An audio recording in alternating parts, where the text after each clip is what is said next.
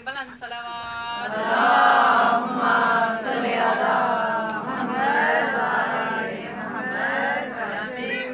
علی محمد محمد عجیب ہے جامع ولائے آل محمد عجیب ہے لبریز ہو چکی ہوں مگر پھر بھی پیاس ہے مصداق میں لیا تھا جو میں نے علی کا نام مصداق میں لیا تھا جو میں نے علی کا نام اب تک میرے خمیر میں اس کی مٹھاس ہے۔ باز بلند سلوات محمد محمد۔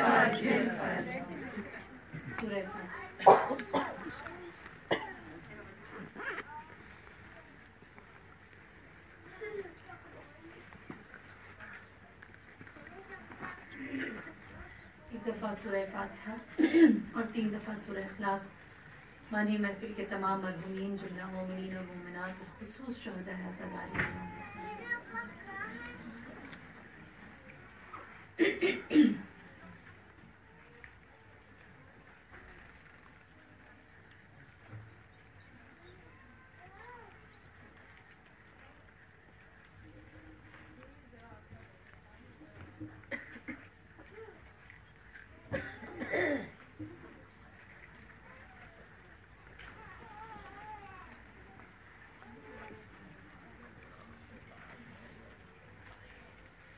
ہمارے دیگر نعرہ سلامات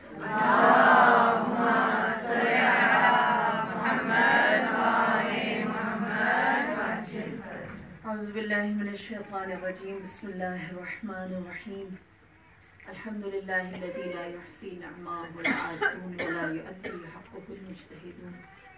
الذي ليس لصفته حد محدود ولا نعت موجود ولا أجل ممدود. فطر الخلائق بقدرته ونشر الرياح برحمته الصلاة والسلام على المهيمن على رسله والخاتم بأوصيائه والشافع إليه والمكين لديه والمطاع في ملكوته الأحمد من الأوصاف الأب القاسم محمد صلى الله عليه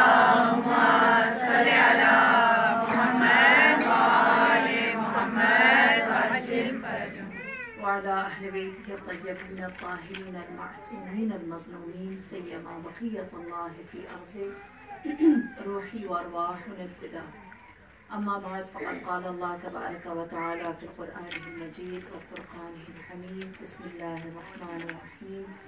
قل أوحي إلي أنه استمع نفر من الجن فقالوا إنا سمعنا قرآنا عجبا. يهدي إلى الرشد.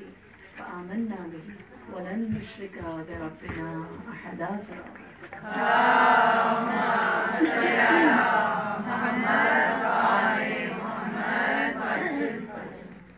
پروردگار عالم انسان کو اس کی بہترین خلقت کے ساتھ پیدا کرتا ہے اور اس نے اس انسان کے لیے ہدایات کے تمام اسباب فراہم کر دیے۔ بس جب اللہ نے اس کی ذات کے اندر اس کی فطرت کے اندر، اس کی سرشت کے اندر، اس کی خلقت کے اندر ہدایت کو رکھا ہے۔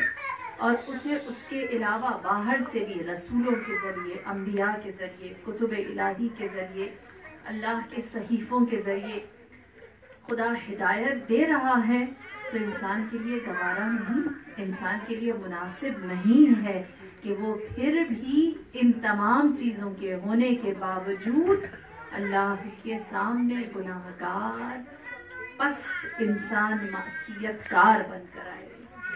بس لازمی ہے انسان کے لیے کہ وہ اپنے آپ کو جس خصلت کے ساتھ اللہ نے اسے بنایا ہے، ان کے مطابق رکھے۔ اسی لیے خدا انسان جہاں پر اپنی عظمت سے گر جاتا ہے خدا ان کے اوصاف کو بیان کرتا ہے کہ وہ کون سی چیزیں ہیں جو انسان کو خلیفت اللہ کی منزل سے گرا دیتی ہے۔ انسان کو اشرف المخلوق کی منزل سے گرا دیتا ہے۔ میں نے آپ کی خدمت میں کل عرض کی کہ انسان کا لجوج ہونا یا خدا کے سامنے جھگڑالو ہونا، خدا کے احکامات پر سوال اٹھانا، خدا پر ایمان لانے کے بعد اس کی بات کو نہ ماننا اور خدا کی حکمت کے سامنے اپنی حکمت کو رکھنا خدا کے نزدیک ناپسندیدہ عمل ہے۔ اس کے بعد ایک صفت جسے خدا دو مقامات پر انسان کے حوالے سے بیان کرتا ہے۔ پہلا سورہ ہود کی آیت نمبر نو میں پروردگار عالم ارشاد فرماتا ہے، وَلَئِنْ أَذَقْنَا الْإِنسَانَ مِنَّا رَحْمَةً ثُمَّ نَزَعْنَاهُ إِنَّ الْإِنسَانَ لَيَئُوسٌ قُنُوطٌ ہم انسان کو جب اپنی رحمت کا مزہ چکھاتے ہیں تو وہ ٹھیک رہتا ہے۔ لیکن جب اس سے وہ رحمت لے لیتے ہیں تو وہ نا امید ہو جاتا ہے۔ اللہ کے سامنے اپنی امیدوں کو کھو دیتا ہے۔ اور پھر دوسری جگہ پر پروردگار عالم ارشاد فرماتا ہے سورہ فصلت کی آیت نمبر نو میں، لا يسأم الانسان من دعاء الخیر۔ انسان دعائے خیر اپنے لیے نیکی مانگ مانگ کر تھکتا ہی نہیں ہے۔ ہر وقت خدا سے کہتا رہتا ہے، مجھے یہ دے دے، مجھے وہ خیر۔ میرے حصے میں اچھی ہی چیزیں آتی رہیں۔ وَإِذَا مَسَّهُ الشَّرُ۔ لیکن جیسے ہی اس کے سامنے ایک چھوٹی سی مشکل آ جاتی ہے فَيَعُوسُ الْقُنُوتِ۔ وہ نا امید ہو جاتا ہے، وہ تاریخیوں میں چلا جاتا ہے۔ کتنی خیر کی دعا مانگتا ہے اور کتنا میں اسے خیر دے بھی دیتا ہوں۔ چھوٹی سی مصیبت چھوٹی سی مشکل آ جائے تو یہ انسان اللہ کے سامنے نا امید ہو جاتا ہے، جبکہ پروردگار عالم کے نزدیک نا امیدی ایسی چیز ہے، اللہ کی رحمت سے نا امید ہونا ایسا ہے کہ قیامت کے دن کسی بھی فرد کو خدا داخل بحث ہونے سے نہیں روکے گا، سوائے اس کے کہ جو اللہ کی رحمت سے نا امید ہو جاتا ہے۔ جو اللہ کی رحمت سے مایوس ہو جاتا ہے۔ اسی لیے پروردگار عالم سورہ یوسف کی آیت نمبر انتیس میں ارشاد فرماتا ہے، لا تی اسو من روح اللہ، انہو یی اسو من روح اللہ الا قوم الكافرین اللہ کی رحمت سے مایوس نہ ہو، اللہ کا دامن نہ چھوڑو، اللہ کی رحمت کے امیدوار رہو، ہمیشہ یقین رکھو، خدا تم پر اپنی رحمت کو نازل کرے گا۔ اور جو لوگ خدا کی رحمت سے مایوس ہو جاتے ہیں، وہ کوئی نہیں ہے سوائے کفر کرنے والے، سوائے کافرین کے۔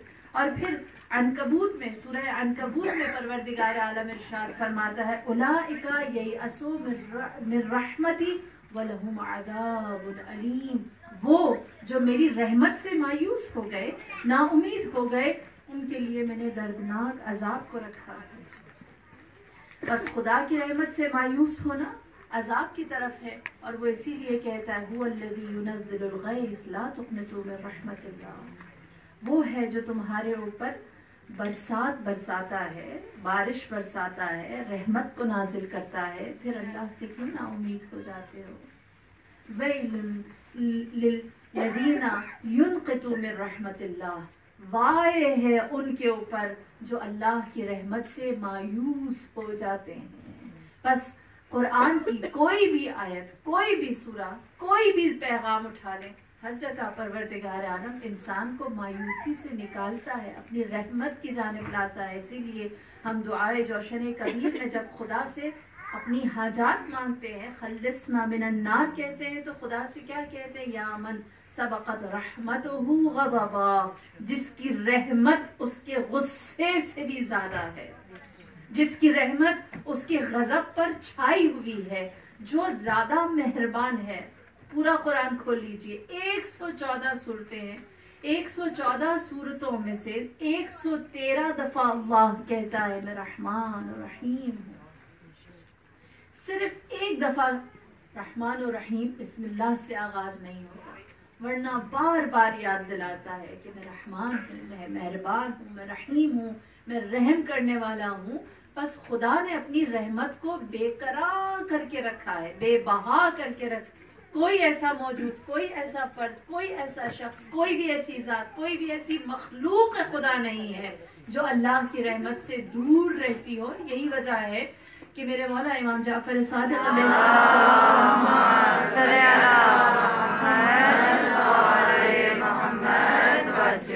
آپ فرماتے ہیں اذا كان يوم القیامہ ونشر اللہ تعالی رحمته حتى يطمع ابلیس. جس دن قیامت ہوگی اور اللہ اپنی رحمت کو پھیلا دے گا منتشر کر دے گا ہر ایک کو اپنی رحمت میں لے گا اس کی رحمت اس دن اتنی وسیع ہوگی کہ ابلیس سوچے گا کہ شاید میں بھی معاف کر دیا جاؤں۔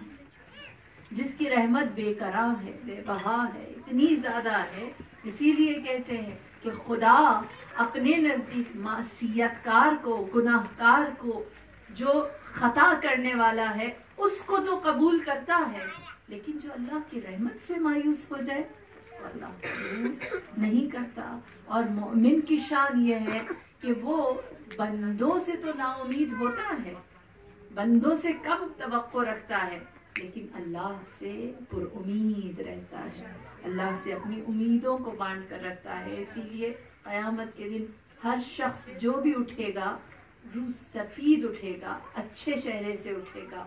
خواہ اس کے گردن کے اوپر اس کے گناہوں کا بوجھ ہی کیوں نہ ہو۔ لیکن کچھ چہرے جو سیاہ ہوں گے، ان میں سے صرف اول میں اللہ کی رحمت سے مایوس انسان کا چہرہ ہوگا۔ اشرف المخلوق کے لیے، احسن تقویم کے لیے تقریم انسانیت کے لیے یہ گوارا نہیں ہے کہ انسان اللہ کی رحمت سے مایوس ہو جائے اور اللہ کی رحمت سے مایوس ہو کر انسان کے لیے اس انسانی زندگی میں کیا رہتا ہے۔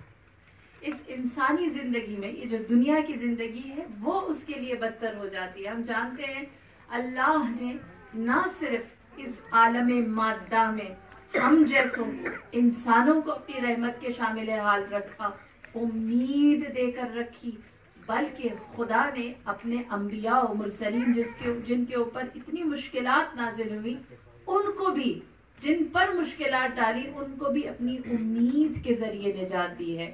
مثال کے طور پر، اگر حضرت آدم اللہ کی درگاہ سے ترک اولا کے بعد نا امید ہو جاتے تو کبھی بھی پلٹ کر خلیفت اللہ نہ بنتے۔ اگر حضرت یوسف نا امید ہو جاتے تو کبھی بھی عزیز مصر نہ بنتے، اسی کنویں کو اپنی قبر بنا لیتے۔ اگر حضرت موسا نا امید ہو جاتے تو اسی دریا میں غرق ہو جاتے، دریا کو شگافتہ نہ کر سکتے۔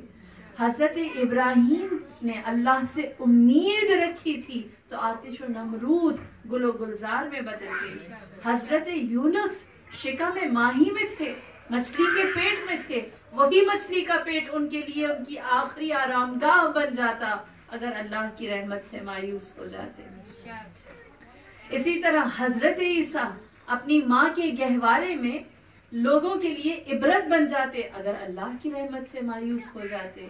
اور اسی طرح اگر حر اللہ کی رحمت سے مایوس ہوتا تو آج یہ تقریم نام توبہ لوگوں کے لیے باعث انقلاب نہ ہوتے بس خدا نے جن کے اوپر بڑی سے بڑی فرعون و نمرود جیسی مشکلات کو ڈالا، انہیں اللہ سے امید رکھنے نے اس مشکل سے نجات دلائی ہے۔ بس جو جتنا خدا سے پر امید رہتا ہے، وہ مشکلات سے اتنی جلدی نکل آتا ہے۔ جس طرح ہم تاریخ میں دیکھتے ہیں، ہمارے سامنے بے بہا، بے شمار، انگنت مثالیں ایسی ہیں۔ روایت کہتی ہے کہ جب خولی بن تمیم امام کے لشکر، امام کی سپاہ کو لے کر پہنچا ہے شام میں اور یزید نے خولی بن تمیم سے سوال کیا اور کہا، بتا، کہاں کہاں بیویوں کو رسوا کیا؟ کتنے بازاروں میں لے کر گیا؟ کتنے درباروں میں لے کر گیا؟ تو خولی بن تمیم نے ساری تفصیلات بتائیں کہ کوئی راستے میں بازار ایسا نہ تھا جہاں پر میں نہ لے کر گیا۔ ہر جگہ انہیں رسوا کیا۔ پھر خولی بن تمیم خود ہی لکھتا ہے۔ دیکھیے، امید اگر ہو، انسان اگر اللہ کی رحمت کے سائے میں ہو، تو کس طرح سے وہ مشکلات کو زیر کرتا ہے، شکست دیتا ہے۔ کہتا ہے کہ میں ہر بازار میں، ہر کوچا و گلی میں ان کا تماشا دکھانے کے لیے انہیں لے کر گیا۔ ہم ان بیویوں کو رسوا کرنے کے لیے قیدی بنا کر لے کر جاتے تھے، لیکن یہ فاتح بن کر داخل ہوتی تھی۔ عزت و شرف کے ساتھ داخل ہوتی تھی۔ سمجھ میں آتا ہے کہ اگر انسان امید الہی سے جڑا ہوا ہو، اور دیکھیے یہ امید کیسے کیسے کام کرتی ہے۔ مثال کے طور پر اگر ہم اس سے پیچھے کے مرحلے میں آئیں، ہم ایک نارمل روٹین میں دیکھیں۔ جو انسان جتنا زیادہ پوزیٹو سوچتا ہے مثبت سوچتا ہے، خدا اس کے لیے اتنا ہی اچھا رکھتا ہے۔ جو انسان جتنا زیادہ نیگیٹو سوچتا ہے، اس کے لیے اتنی ہی نیگیٹیوٹی اتنی ہی زیادہ مشکلات، اتنی ہی زیادہ پرابلمز آتی ہیں۔ مثال کے طور پر ایک تمثیلی داستان ہے۔ کہتے ہیں کہ ایک ایک شخص تھا، تاجر تھا، جس نے اپنے لیے ایک باغ بنا رکھا تھا۔ اور وہ باغ ایسا تھا جس میں مختلف پودے اور پھل اور درخت لگے ہوئے تھے۔ جس میں ایک سنوبر کا درخت تھا۔ سنوبر کا درخت چار بہاری ہے، چار موسمی ہے ہر موسم میں چلتا ہے بہار و خزاں میں۔ اس کے پتے کھلے ہوئے رہتے ہیں۔ جب وہ سنوبر کے درخت کے پاس آیا تو اسے لگا اس میں سبزہ کم ہے۔ اس نے سنوبر کے اس درخت سے پوچھا اور کہا کہ پہلے جیسی رونق، پہلے جیسا سبزہ، پہلے جیسی ہریالی تیرے پتوں میں نہیں ہے۔ کیا وجہ ہے تیرے پتے جھڑ گئے؟ تو سنوبر کے اس درخت نے کہا کہ میں نے اپنے سامنے اس سیب کے درخت کو دیکھا، جس کے اندر لال رنگ کا سیب نکلتا ہے، جس کی خوشبو دور سے آتی ہے۔ جب سے میں نے اس کو دیکھنا شروع کیا ہے، اس کے بعد سے میرے پتے جھڑنے لگے ہیں۔ اور میں اپنے آپ کو پہلے جیسا تر و تازہ محسوس نہیں کرتا، مجھے ویسے سرخ سیب چاہیے۔ کہتے ہیں وہ تاجر، پھر اس کے بعد گیا اس سیب کے درخت کے پاس۔ دیکھا سیب کے درخت میں بھی پہلے جیسی تازگی، پہلے جیسی خوشبو، پہلے جیسی ہریالی نہیں ہے۔ سیب کے درخت سے پوچھا، کیا وجہ ہے تیرے اندر وہ رنگ بو خوشبو نہیں ہے؟ سیب کے درخت نے کہا، میں نے پھول کو اگتے ہوئے دیکھا ہے، کھلتے ہوئے دیکھا ہے۔ جب سے میں نے گلاب کے پھول کو کھلتے ہوئے دیکھا ہے، اس کے بعد سے میں سوچتا ہوں، میرے اندر وہ خوشبو کہاں میں سنوبر کے درخت کو دیکھتا ہوں ہر موسم میں یہ لہراتا رہتا ہے، رقص کرتا ہے، اتنا خوبصورت لگتا ہے۔ میں دیکھتا ہوں اس جیسا سبزہ بھی میرے اندر نہیں ہے۔ جب سے میں نے اس نا امیدی کو اپنے آپ سے باندھا ہے، اس کے بعد سے میری خوشبو، میرا پھل، میری سب، میرا سبزہ کم ہونے لگا ہے۔ لہٰذا وہ گیا پھول کے پاس۔ پھول کو دیکھا تو اس نے دیکھا کہ پھول ہے جس کی پتیاں مرجھا رہی ہیں۔ پھول سے پوچھا، کیا وجہ ہے؟ تیری پتیاں مرجھا رہی ہیں؟ پھول نے جواب دیا اور کہا کہ میں نے سنوبر کے درخت کو دیکھا، میں نے سیب کے درخت کو دیکھا، جو اتنا بڑا ہے، لوگ ان کے سائے میں آتے ہیں، بیٹھتے ہیں انجوائے کرتے ہیں اور میں ذرا ہوا چلے میرے پتے گر جاتے ہیں۔ لہٰذا مجھے اپنے آپ سے، اپنے ان پتوں سے اب شکوا ہے کہ یہ اور زیادہ گر جاتے ہیں۔ پھر اس کے بعد کہتے ہیں، وہ تاجر گیا، کونے میں کھلے ہوئے پھولوں کو دیکھا، جو بہت خوبصورت تھے، جس سے خوشبو آ رہی تھی۔ اور وہ اپنی پوری آب و تاب سے رنگ بکھیر رہے تھے۔ وہ گیا ان پھولوں کے پاس اور ان پھولوں سے سوال کیا اور کہا، سب کچھ یہاں اجڑا ہوا ہے، لیکن تمہارے اندر وہ رنگ بو ہے، تمہارے اندر وہ خوبصورتی ہے، کیا وجہ ہے؟ تو انہوں نے جواب دیا اور کہا کہ پہلے ہم نے دیکھا اس بڑے درخت کو، بہت پیارا لگا، اپنا آپ چھوٹا لگا۔ پھر دیکھا سیب کے درخت کو، بہت اچھا لگا، بہت خوبصورت لگا، اپنا آپ بہت چھوٹا لگا۔ پھر گلاب کو دیکھا، اس کی خوبصورتی کے سامنے اپنا آپ بہت بد شکل لگا۔ اور جب میں نے ان سب کو دیکھا تو میرے اندر نا امیدی آنے لگی۔ لیکن پھر میں نے، اے مالک، تیرے بارے میں سوچا۔ میں نے سوچا، تو نے اسی اہتمام کے ساتھ انہی انہی جگہوں پر مجھے بڑے خیال کے ساتھ رکھا ہے۔ تو مجھے کھاد ڈالتا ہے، تو مجھے پانی دیتا ہے، میرے لیے روشنی کا بندوبست کرتا ہے۔ جب میں نے تیرے بارے میں سوچا تو مجھے لگا، نہیں، میرے پاس سب کچھ موجود ہے، لہٰذا مجھے کھلنا چاہیے، مجھے اپنے رنگ و بو دینے چاہیے ہیں۔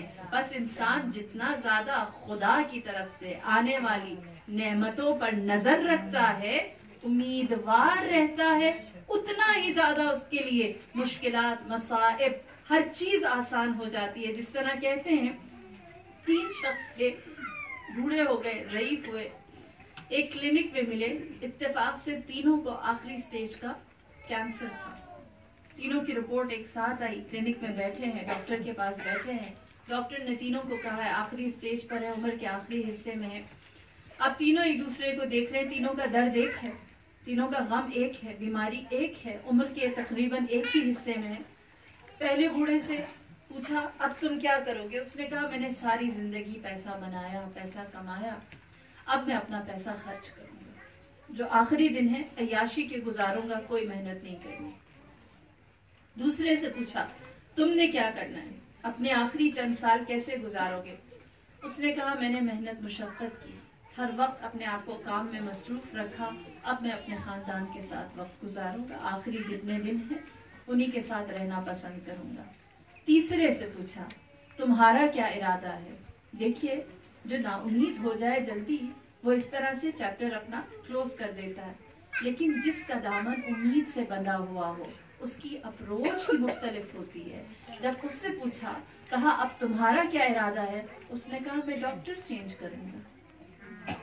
مجھے کیا ضرورت ہے جس نے مجھے نا امید کر دیا؟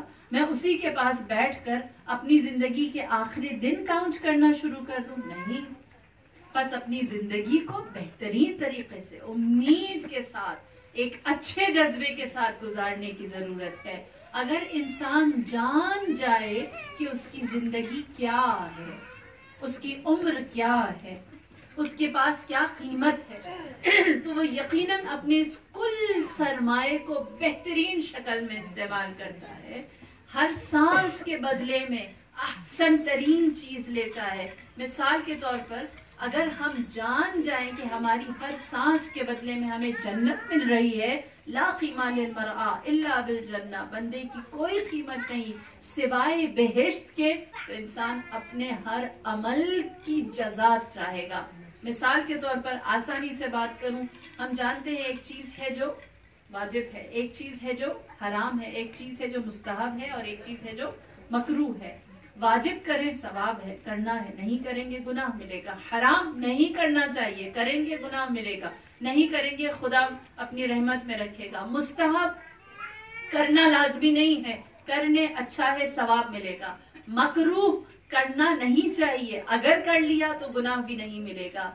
ایک چیز ہے مباح۔ ہاں؟ جو نہ حلال میں ہے، نہ حرام میں ہے، نہ مستحب میں ہے، نہ مکروح میں ہے، کچھ بھی نہیں ہے۔ بس یوں ہے کہ آپ کر لیں۔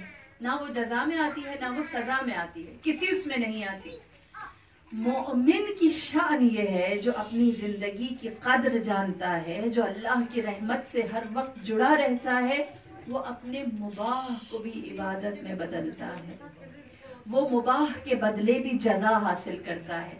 وہ مباح کے بدلے بھی جنت کے حصول میں لگا رہتا ہے۔ مثال کے طور پر پانی پینا مباح ہے، لیکن وہ یہی پانی پی کر حسین کی پیاس کو یاد کرتا ہے، جزا ہے۔ مثال کے طور پر ہم سب جانتے ہیں دانت برش کرنا مباح ہے لیکن وہ انہی دانتوں کی صفائی ہر روز صبح قربتاً اللہ کرتا ہے کہ خدا کہتا ہے اگر کوئی سفید دانتوں کے ساتھ جائے نماز پر آ کر بیٹھے تو فرشتے اس کے لبوں پر لب رکھ کر اس کے نام اعمال کو لکھتے ہیں۔ نعرہ تکبیر۔ نعرہ تکبیر۔ نعرہ رسالت۔ نعرہ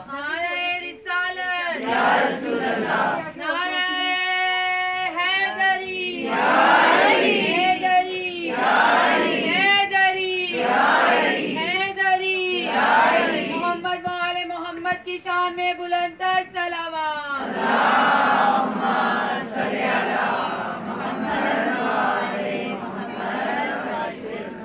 بس ہے ایک مباح کام دان برش کرنا لیکن وہ اس کے بدلے بھی جزا لیتا ہے۔ سونا مباح ہے مومن وضو کر کے سوتا ہے تاکہ اسے اس کی نیند کے بدلے بھی جزا ملے۔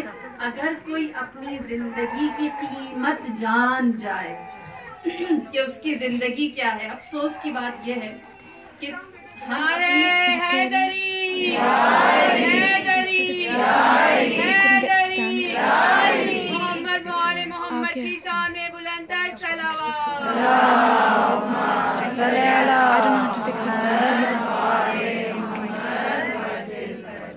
ہمارے ساتھ مشکل یہ ہے کہ ہم اپنی زندگی کی نہیں جانتے۔ ہمیں نہیں پتا کہ ہماری زندگی کا ہر لم لمحہ جو اللہ سے امید پر جڑا رہے وہ کیا کارنامے دکھاتا ہے۔ ہماری زندگی کیسی ہے؟ حکایت ہے۔ شیخ سعدی کی وہ بیان کرتے ہیں کہ انسان جو ہے وہ اپنی زندگی کو بے قیمت گزارتا ہے۔ اور اس کے لیے وہ ایک حکایت بیان کرتے ہیں، حقیقت نہیں ہے، تمثیل ہے، مثال ہے۔ کہتے ہیں کہ اللہ نے جب خلقت کا آغاز کیا، چیزوں کو بنانا شروع کیا، تو سب سے پہلے اللہ نے جس چیز کو پیدا کیا، وہ گھدا تھا۔ گدھا پیدا کیا گدھے سے کہا کہ تمہیں میں چالیس سالہ زندگی دیتا ہوں، تمہاری زندگی کا ایک مقصد ہے۔ اور وہ مقصد یہ ہے کہ تم دوسروں کا بوجھ اٹھاؤ۔ گدھے نے کہا، چالیس سال۔ دوسروں کا بوجھ اٹھانے کے لیے بہت زیادہ ہے پروردگار۔ لہٰذا مجھے اس سے آدھی عمر دی جائے۔ تو اللہ نے گدھے کی عمر رکھی۔ بیس سال۔ اور باقی کے بیس سال سائڈ پہ رکھ دیے۔ پھر اس کے بعد اللہ نے بنایا کتا۔ جب کتے کو پیدا کیا تو کتے سے یہ کہا کہ تمہیں میں تیس سالہ زندگی دیتا ہوں۔ کتے نے کہا، تیس سال زندگی کیا کرنا ہے؟ جواب دیا، دوسروں کی حفاظت کرنا اس نے کہا، دوسروں کی حفاظت کرنے کے لیے میں تیس سال جی کر کیا کروں گا؟ پروردگار، تو اگر مجھے پندرہ سال کی بھی زندگی دے دے بہت ہے۔ پندرہ سال بھی دوسروں کی حفاظت کرنا بہت ہے۔ لہٰذا اللہ نے اسے زندگی کے پندرہ سال دیے اور باقی پندرہ سال سائڈ پہ رکھ دیے۔ پھر اس کے بعد اللہ نے بنایا بندر۔ جب بندر کو خلق کیا تو بندر سے کہا، میں تجھے تیری زندگی کے تیس سال دیتا ہوں۔ پوچھا پروردگار، کیا کرنا ہوگا؟ کہا چھلانگے لگانی۔ ایک درخت سے دوسرے درخت پر، ایک درخت سے دوسرے درخت پر جانا ہے اور کھانا ہے۔ بندر نے کہا، تیس سال چھلانگے لگانے کے لیے بہت زیادہ لہٰذا اگر مجھے صرف پندرہ سال دے دیں بہت ہے۔ اللہ نے کہا، ٹھیک ہے، پندرہ سال بندر کو دے دیے اور پھر شیخ سعدی حکایت میں کہتے ہیں، اللہ نے بنایا انسان۔ اور انسان سے کہا، تجھے تیری زندگی کے میں تیس سال دیتا ہوں۔ پوچھا، کیا کرنا ہے؟ کہا، جو کچھ زمین اور آسمان میں بنایا ہے تیرے لیے ہے۔ تسخیر کر ڈسکور کر ایکسپلور کر، جو کرنا ہے، جس طرح کرنا ہے۔ انسان نے کہا، پروردگار، پوری دنیا اور میں ایک انسان اور صرف تیس سال۔ مجھے اور زندگی چاہیے۔ اللہ نے کہا گدے کے تیس سال پڑے ہیں۔ چاہیے چاہیے۔ کتے کی زندگی سے پندرہ سال پڑے ہیں۔ چاہیے چاہیے۔ بندر کی زندگی کے پندرہ سال پڑے ہیں۔ چاہیے۔ کہا چاہیے۔ لہٰذا ایوریج انسان کی عمر ساٹھ سے ستر سال۔ ہے ہاں حقیقت نہیں ہے، کوئی روایت نہیں۔ صرف سمجھانے کی بات ہے جو شیخ سعدی اپنی حکایات میں کہتے ہیں۔ اس طرح انسان کی عمر بنی اور پھر جب یہ حضرت انسان اس دنیا میں آیا تو اس نے اپنی زندگی کے شروع کے تیس سال ہی انسان بن کر گزارے ہیں۔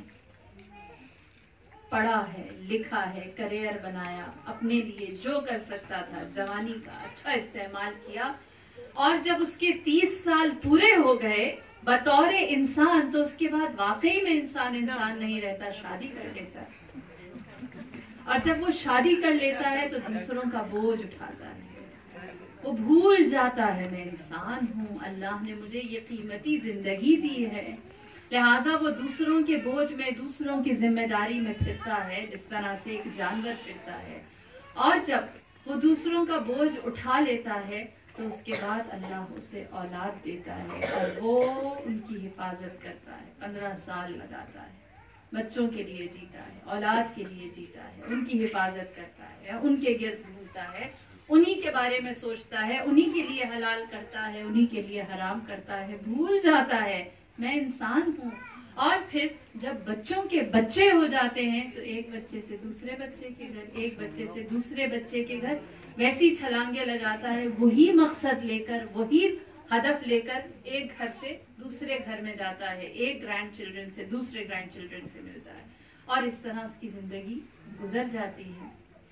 بس وہ جو انسان کی زندگی ہے، جو اشرف المخلوق کی زندگی ہے، وہ صرف صرف شروع کے کچھ عرصے میں جیتا ہے۔ اس کے بعد وہ نہیں جیتا۔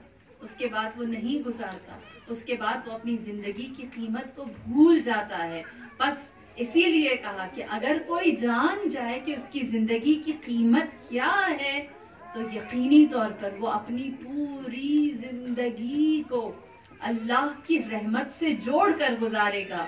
اور یہی وجہ ہے کہ اگر جس کو اپنی زندگی کی قدر ہو، مثال کے طور پر جو قدر زندگی جانتا ہے، جو قدر رب جانتا ہے، وہ اچھی زندگی گزارتا ہے، نفع بخش۔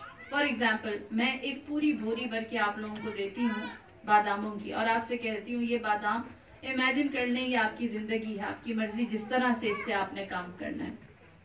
جس طرح سے کاروبار توڑ کر بیچنے، اسی طرح بیچنے، لوگوں کے ساتھ جو لین دین کرنا ہے کریں۔ کل سرمایہ آپ کا، تمام ایسٹ آپ کا یہی ایک بوری بادام ہے۔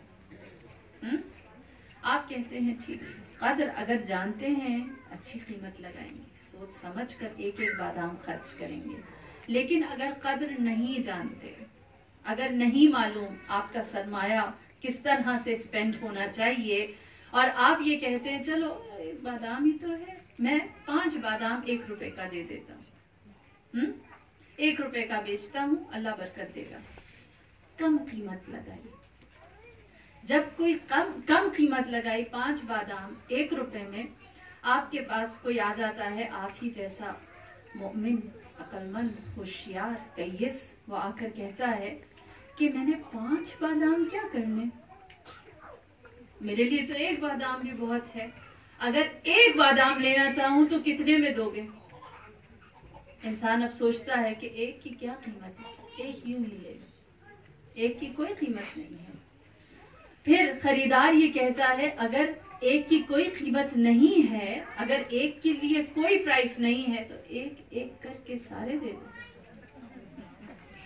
اور اس طرح سے ہم جو اپنی زندگی کی ایک سانس دیتے ہیں، ایک منٹ دیتے ہیں، ایک گھنٹہ دیتے ہیں، ایک لمحہ دیتے ہیں، ایک دن دیتے ہیں، نہیں معلوم، یہ سرمایہ ہے۔ اس کے بدلے خدا کی رحمت لینی ہے۔ اس سے اس کو اللہ کے لیے استعمال کرنا ہے۔ بس جب قدر زندگی نہیں جانتے نا امیدی آتی ہے۔ جب اپنی زندگی کی اہمیت کو نہیں جانتے، مایوس ہو جاتے ہیں۔ مشکلات بڑی لگتی ہیں، اپنی ذات چھوٹی لگتی ہے۔ اگر جان جائیں خدا نے جو زندگی دی ہے، یہ زندگی کیا معنی رکھتی ہے؟ اس کے بدلے کیا کیا حاصل کیا جا سکتا ہے؟ کیونکہ خدا دو باتیں کرتا ہے۔ انسان کے لیے، یدعو الی الجنت والمغفرہ۔ خدا ہے جو تمہیں دعوت دیتا ہے جنت کی طرف مغفرت کے ساتھ۔ خدا کا پیغام یہی ہے، کوئی لمبی چوڑی بات نہیں ہے۔ غلطی ہوتی ہے، اللہ سے معافی مانگو اور پھر اس کے بعد اس غلطی کو دوبارہ مت کرو۔ دوبارہ سر انجام نہ دو اور اللہ کی رحمت کے اندر داخل ہو جاؤ۔ اللہ سے امید رکھو اور اللہ کی امید کے مطابق اس غلطی کو سر انجام نہ اور انسان اس نہج پر آتا ہے جہاں پر وہ پروردگار عالم کے سامنے روح سفید اٹھتا ہے، روشن چہرے کے ساتھ اٹھتا ہے۔ بس شیطان ہے جو اللہ کی رحمت سے مایوس ہوا تھا اور اس نے آدم کو خود سے بہتر سمجھا تھا۔ اپنے آپ کو آدم سے بہتر سمجھا تھا۔ لیکن کیا اس خدا کی رحمت کے، اس کی مغفرت کے، اس کی بزرگواری اور عظمت کے۔ ہم جانتے ہیں شیطان تو خدا کے نزدیک سب سے پہلا بڑا گناہگار تھا، جس نے معصیت کی تھی۔ اللہ نے اسے ہر طرح سے ہدایت دے دی تھی۔ تکبر میں مبتلا ہوا۔ خدا چاہتا، کبھی سوچا آپ نے، اللہ چاہتا تو شیطان کو مار دیتا۔ ہوا یحیی و یمید وہ ہے جو زندگی دیتا ہے اور مار دیتا ہے۔ کیوں نہیں مارا سرکش کو؟ نافرمان تھا، گناہ کر رہا تھا، اللہ کی بات نہیں مان رہا تھا۔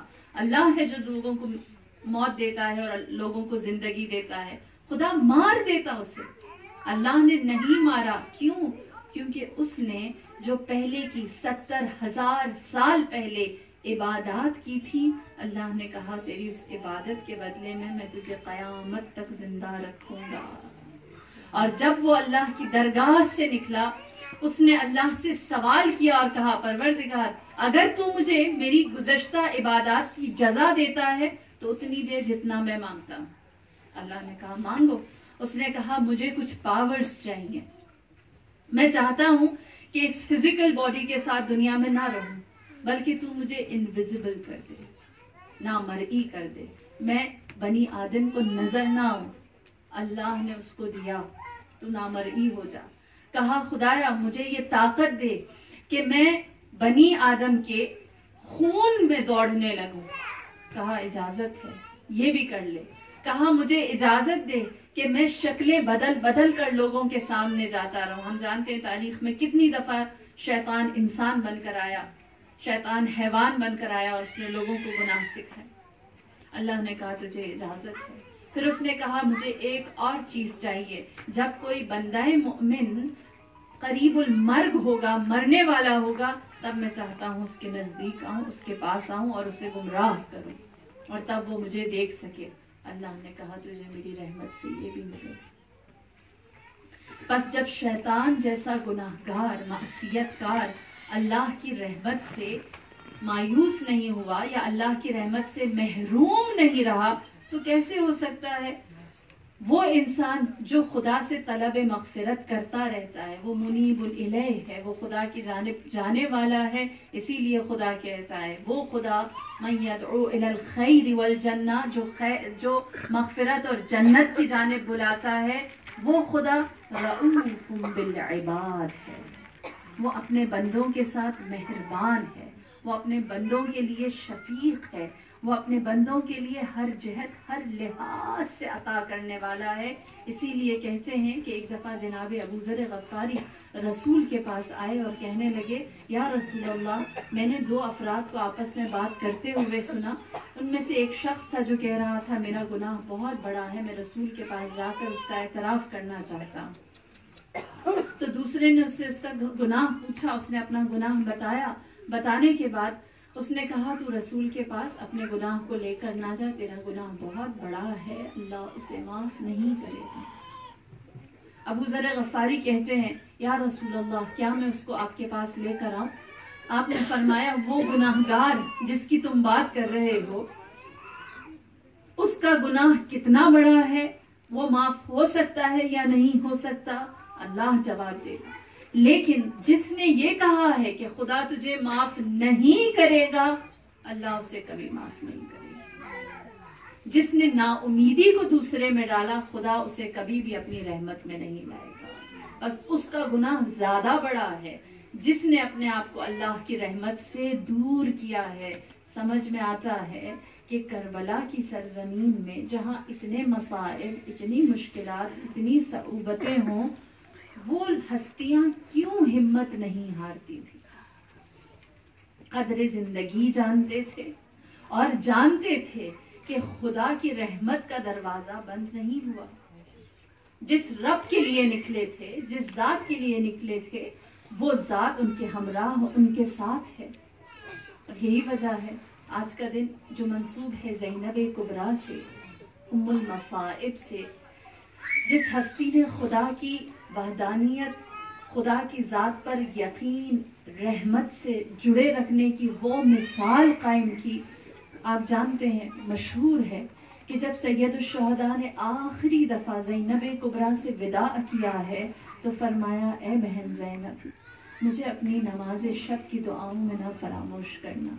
جانتے تھے کہ خدا کی رحمت سے جڑی ہوئی ہے۔ خدا کی رحمت کی امیدوار ہے زینب کبرا اسی لیے وہ چاہے جتنی مشکلات، جتنی صعوبتیں کیوں نہ ہوں، اپنی نماز شب کو ترک نہیں کرے گی۔ روایت کہتی ہے کہ جب نو محرم کی شب تھی، فہرست شہداء تیار ہو گئی ہر شہید اللہ سے زمزمہ کر رہا تھا۔ زینب اپنے خیمے میں اپنے معصوم بچوں کے لیے فلسفہ شہادت سمجھا رہی تھی۔ زینب اپنے بچوں کو بتا رہی تھی، تم جعفر طیار کے پوتے ہو، حیدر کرار کے نواسے ہو۔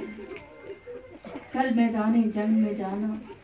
اور اس طرح سے اپنے وقت کے امام، اپنے ماموں کی نصرت کرنا۔ پلٹ کر نہ دیکھنا۔ اپنی جان کو ان پر قربان کر دینا۔ اور پھر میری بیوی نے ایک بات اپنے بچوں کو سمجھائی۔ خدا آپ کی جھولیوں کو آباد رکھے۔ خدا آپ کے بچوں کو سلامت رکھے۔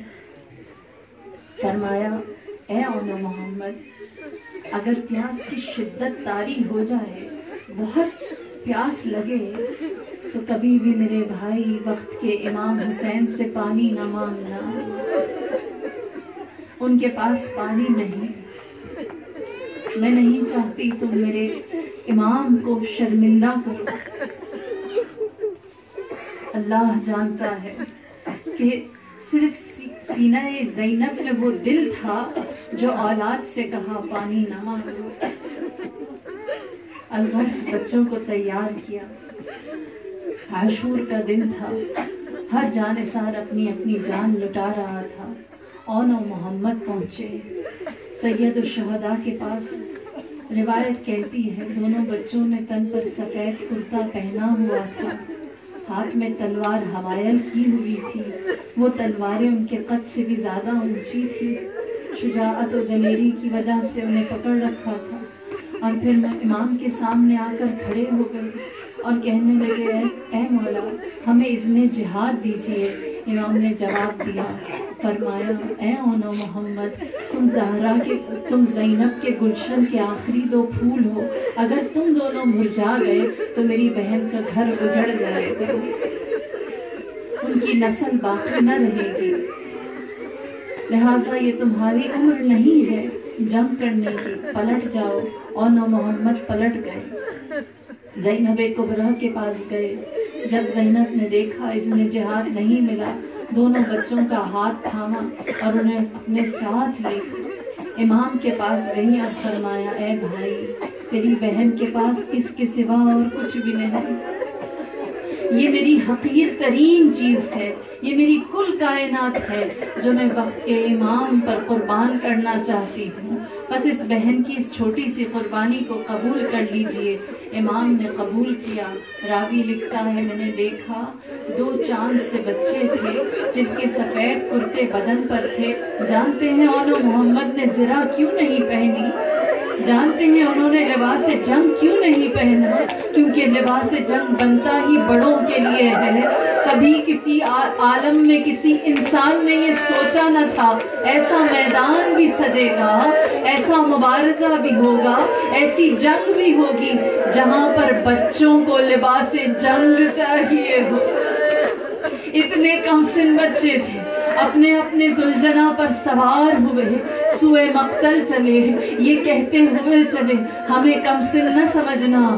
ہم جعفر تیار کے پوتے ہیں۔ وہ جعفر تیار جو دو پروں کے ساتھ جنت میں اڑتے ہیں۔ ہم حیدر کرار کے نواسے ہیں۔ وہ حیدر کرار جس نے کبھی بھی جنگ میں پشت نہیں کی۔ اور یہ کہتے ہوئے قلب لشکر پر حملہ کیا۔ روایت کہتی ہے کہ ایسا حملہ زینب کے شیروں نے کیا کہ چاروں طرف سے الحضر الامان کی صدایاں آتی۔ عمر ابن سعد نے کہا، اگر چاہتے ہو کہ اپنی جان کو امان میں رکھو، تو ان بچوں کو ایک دوسرے سے جدا کر۔ انہیں ایک دوسرے سے جدا کر دو جو لوگ کربلا زیارت میں جاتے۔ ہیں انہوں نے دیکھا ہوگا آن کا مرکت کہاں محمد کا مرکت کہاں یہ دونوں ہمراہ گئے تھے جنگ کرنے، لیکن فاصلہ ڈال دیا گیا۔ آن کے اوپر چاروں طرف سے حملہ ہوا۔ محمد کے اوپر چاروں طرف سے اشقیہ بول پڑے۔ ایک مقام ایسا آیا جہاں یہ بچے زخموں کی تاب نہ لاتے ہوئے، گھوڑے سے زمین پر گرے۔ راوی لکھتا ہے یہ بچے اتنے کم سن تھے، اتنی چھوٹی عمر کے تھے کہ جب انہیں کوئی زخم آ کر لگتا تو اماں اماں پکارتے، اللہ ان کی اولادوں کو سلامت رکھے۔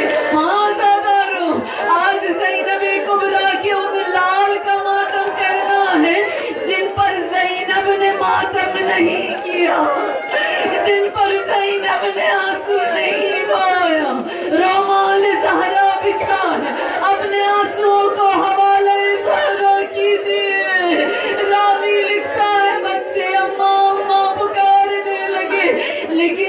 جان لب پر آ گئی۔ بچوں نے کہا علیکم انی سلام، یا ابا عبداللہ اے چلے مامو ہمارا سلام آخر قبول کیجیے حسین دوڑتے ہوئے جو بچوں کے لاشوں پر پہنچے، صدا لگائیے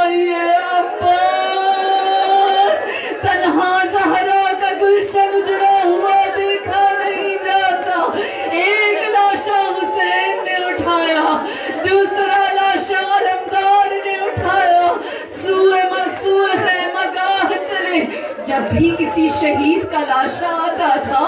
زینب بڑھ بڑھ کر استقبال کرتی، نعرہ تکبیر لگاتی، لوگوں کے حوصلے بلند کرتی۔ لیکن جب آن محمد کے لاشیں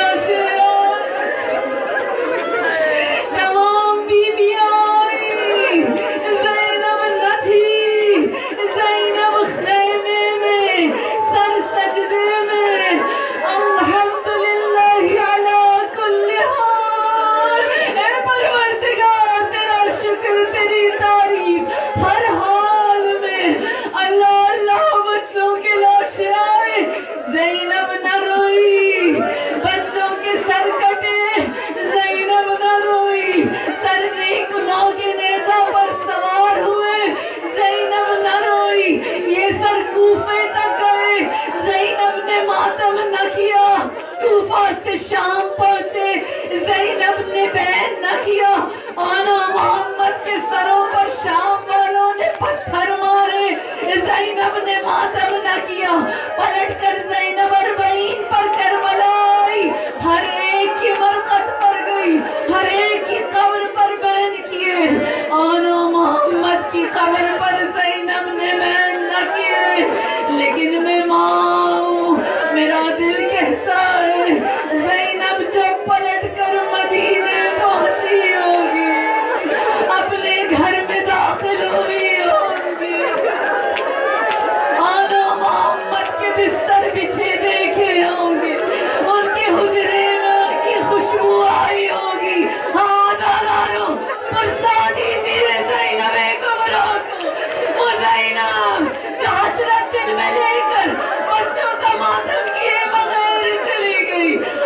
زینب کی حسرت پوری کیجیے۔ عجب نہیں زینب نے جب اپنے سین کو خالی دیکھا ہوگا، کربلا کی جانب رخ کر کے کہا ہوگا، اے میرے